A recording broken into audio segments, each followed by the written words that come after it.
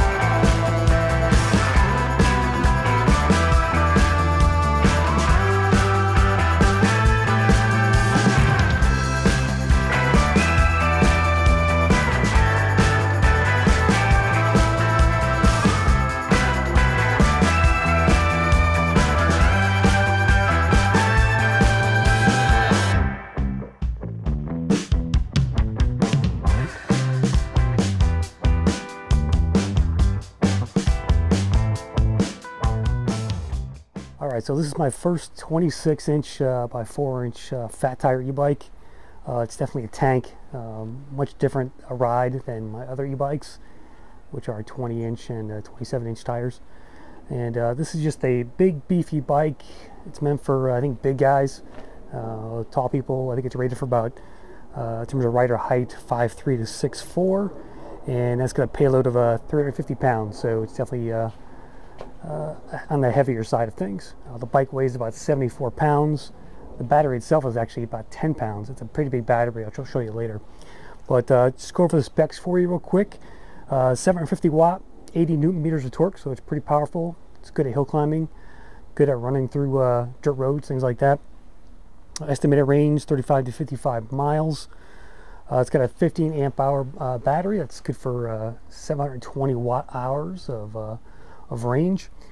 Uh, comes in white, black, and gray. This is the gray model. Uh, also sells a step through um, called a Seeker. They're actually their their models are kind of the same, so I'm not sure what the differences are between the two the two models that they have, the Seeker and the Pioneer. But this is the Pioneer, and uh, it's a pretty good looking bike. Great fit and finish. And uh, this kind of compares with the Himiway Cruisers of the world, the, the Rad Rovers of the world. Um, and I think this has uh, more premium parts than those bikes. Um, I think the one thing that the Himiway outshines this bike is in the battery size. The Himiway has a 17.5 amp hour battery. This has a 15, and the Rad Rover has a 14, I believe. Um, but uh, this has hydraulic brakes. Um, it's got uh, a massive front headlight with 1100 lumens, which I'll show you as well. Uh, integrated braking lights, nice beefy rear rack, um, and uh, just a nice fit and finish overall to the actual bike. The little swept back handlebars here, very nice full leather stitch grips. Uh, comes with a bell, so that's a good thing. And it's got a really nice 3.5 inch color display on there uh, which is the nicest display I've seen so far on the e-bikes that I've owned anyway. Uh, put it together myself, came uh, last Friday. Just threw on the, uh, the front tire, Uh, adjust the handlebars, put the pedals on, uh, the fender and the light, and that's it. So that's kind of your standard uh, installation with these e-bikes is, is the, uh, the front tire, the handlebars, fenders, lights, and pedals basically. So now it's kind of old habit now. It's, I don't even need the instructions anymore at this point. All right, so what else can I say about this bike? So I think it's, it's great for sand, uh, going over gravel, dirt trails. I'm going to use this on like dirt road paths on some of the uh, the water company uh, properties that I visit here in Connecticut. That's going to be my main use for this bike. Um, it is a it is a big bike, so it doesn't turn as easily as other e-bikes out there. Um, so it is a, it's on the heavier side. It's a little more bulky, in other words. So it's not going to give you that kind of uh, uh, agility that a Lectric XP will, for example. All right, what else? So uh, hydraulic brakes, as I mentioned, it's got 180 millimeter rotors on the front and back, and the uh, front fork is hydraulic as well. Does have a lockout and preload in there as well. The tires are, uh, I I think they're there's no name on the tires, so they look kind of Kendas to me. Um, got a nice reflective strip on the, uh, the sides. I do like that on, on those tires. So they look pretty nice. No lettering there. It's a very subtle, in terms of branding, very subtle branding on this bike. I don't know if you can see it on the, uh, the video here, but it says Dirwin right here. And it says Pioneer down here in black. Uh, it's a very dark gray. Um, and uh, I like that subtle branding on these, on these on bikes like this. I think the one aspect I hate about this bike is the seat. It is a rock hard seat and uh, I'm going to get a suspension seat post and uh, throw it on there as well get a new seat. I'm going to put my Cloud 9 in here I think but um, this, this thing is rock hard. Um, it's got a 7-speed Shimano shifter with an Altus derailleur down there and um, yeah it's basically about it so you know big beefy bike it does fit me pretty well as far as uh, leg extension and things like that. I think the minimum seat height is about 30 inches and the standover height is 29.5. Uh, it does have a key to unlock the battery. I'll show you that in a second. And um, that is the bike. So today we'll do kind of a, uh, we'll do a hill climb test and we'll do some speed tests, show you the PAS levels and show you how the uh, display looks as well on the road. So stay tuned for that coming up. Okay, so here's the battery. Again, it weighs 10 pounds and it's probably, gosh, must be two feet long almost. It's the longest battery I've ever seen on an e-bike. Uh, you can see the locking mechanism up here. Right now it's locked. Now unlock it, it just popped out. And it's got a handle on here. Um, and you kind of, uh, you bring the battery out at an angle and pick it up. And that's what the inside of the, uh, the bike looks like there. For the, uh, it's a very cavernous um, channel here for the, uh, the battery. Here's a quick look at the cockpit of the bike. Again, you got your Shimano shifter here. You got the uh, Logan uh, hydraulic brakes. They have mineral oil in these as well, so um, definitely a step up. So here's the display. So uh, let me zoom in here. You can see the uh, battery level, you got your trip, odometer, wattage. Uh, everything's on this page basically. So when I switch the uh, eco modes. Well, now it's off. Look at the colors here. So now it's white. go to eco, it's green. You go to PS2, it's uh, it's kind of a, a yellowish. Then you got three, that's more of an orange. Four, that's a, a deeper orange. And then uh, five is more of a red on there. So that's a nice touch. I've never seen that before uh, on the uh, display like this. Even when you're writing, this circle here will also change color as well. Um, and that's how you know what PS mode you're in. All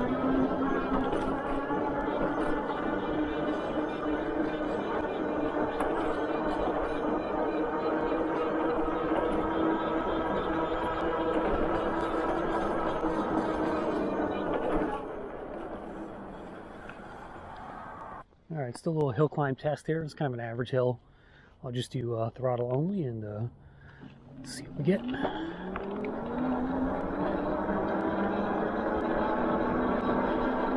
12, 13. It's doing pretty well. Almost hit 13.8, 13.5. It's coming towards the top of the hill here. And that was pretty easy.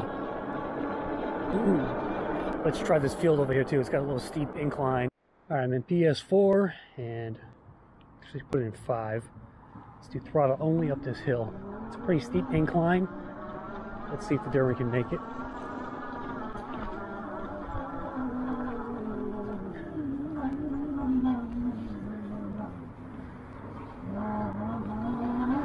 And she did.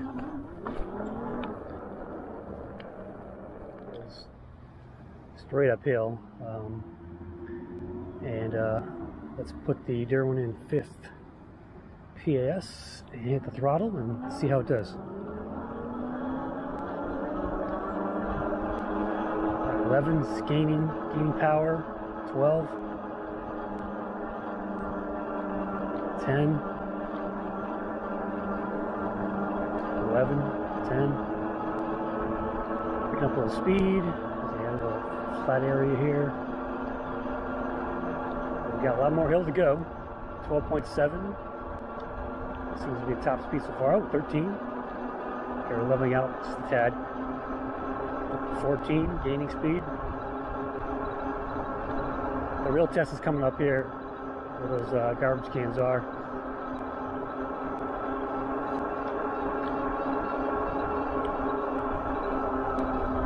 Fourteen still. Okay, now we're slowing down. 13, 12, 11, 10. It's still going though. 9, 8, 8, 7.8. It's going to make it, guys. Pretty impressive. 8. And we're at the top of the hill. All right, not bad. You know, uh, if you want to climb hills, you got to get bikes that are 750 watts. This has 80 newton meters of torque. Uh, you can kind of see down there how steep this hill is. Um, it's a it's a pretty steep hill. Um, this is one of the tallest places in my town, so I'm uh, pretty impressed with the uh, performance here of the dirt brakes on this steep hill here.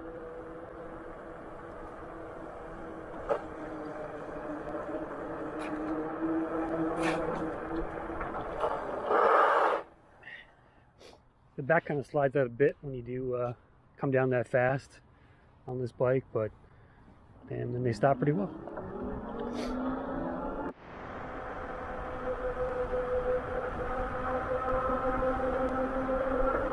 29 right now, 30. 31.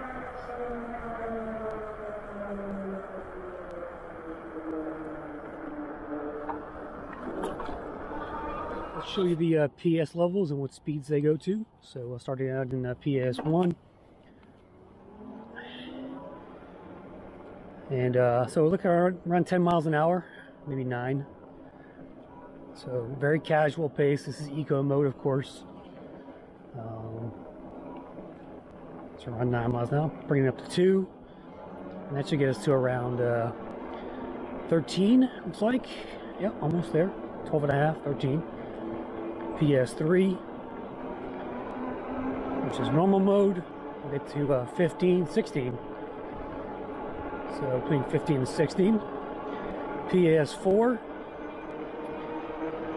is, it's like 19. I'm going to go through the stop sign here. No one's coming. Let's go to PS5.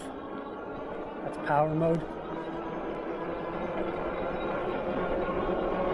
So we're 20, 21, 22, 23,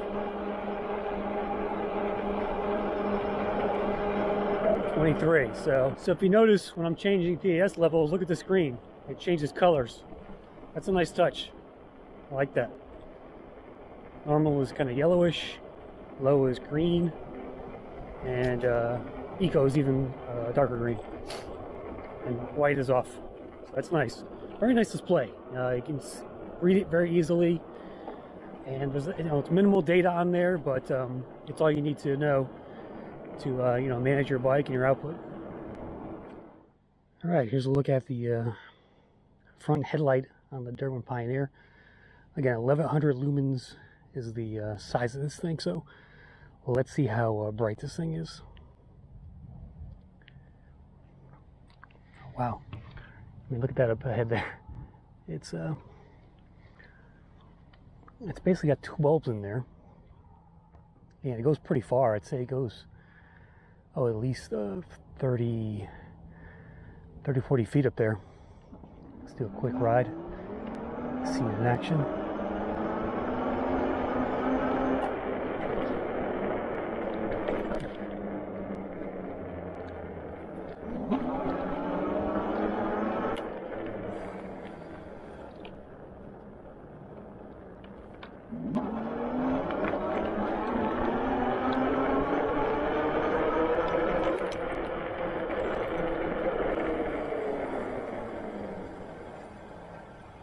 There you go. There's the headlight in action.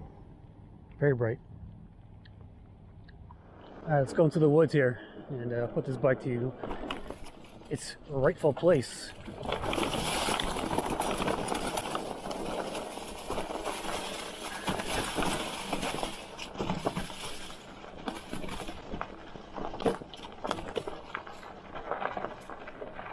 See, this is what this bike is meant for. Trails like this that uh, have, have sticks, roots, rocks. And this thing just rolls right over them.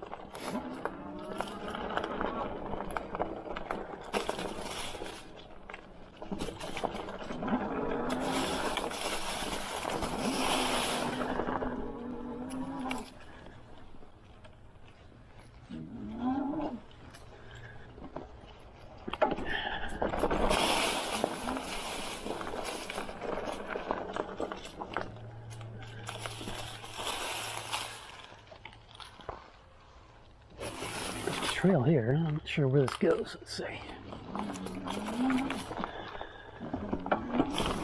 Right over that tree. And go uphill here.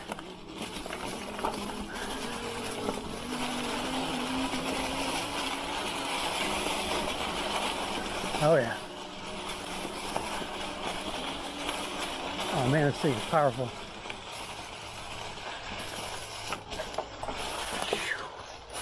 Down there to the end. Downhill here.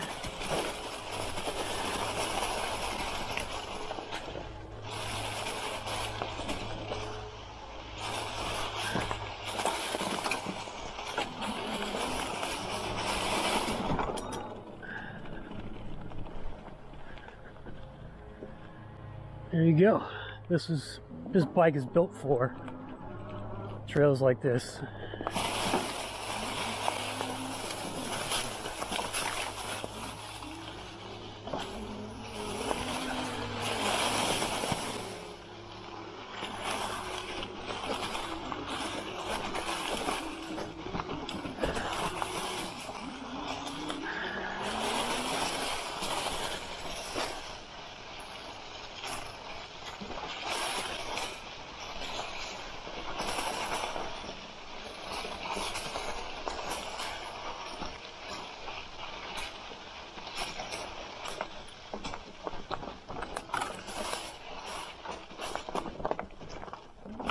right with that stick.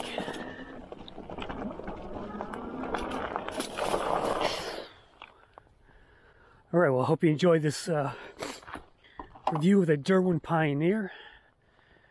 Again, a premium e-bike, $22.99 on the Dirwin website. Compares to the uh, Himiway Cruiser or the Rad Rover. You know, a little bit better parts on this one than those bikes. Uh, you got the hydraulic brakes. You got that big lumen uh, headlight up there, 1100 lumens. That's like a car light. And I'll show you a video of that as well. Um, integrated tail light on the back. Uh, just nice parts overall, except for the seat. And uh, pretty impressed with this with this e-bike here. So it's my first 26 by 4 and I'm definitely keeping this one. They did send to me for review uh, for free, so just keep that in mind. But you know what? Any bike you get that's $2,000 or more is going to be a great e-bike. I mean, come on, let's face it, folks it's uh, it's not that hard to figure out. And uh, it came with no problems. There's no scratches on it whatsoever out of the box. Real easy to put together. And uh, just love the look of this Sterling Pioneer. And it's definitely uh, the newest e-bike in my stable. So uh, thanks for watching. Hit that like button. And see you next time on Chris Crossed.